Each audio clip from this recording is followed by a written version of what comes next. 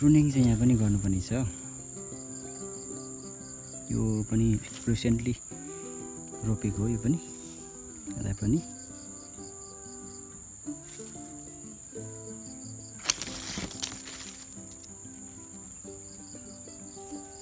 ठिक छ।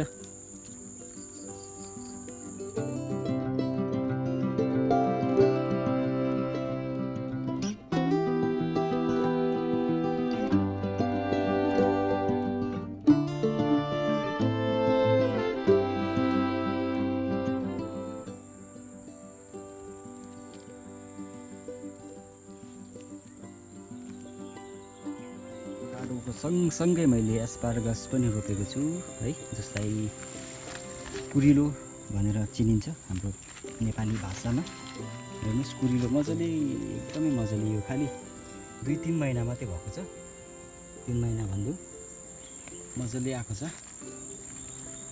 यहाँ पनि देख्न सक्नुहुन्छ। एन्ड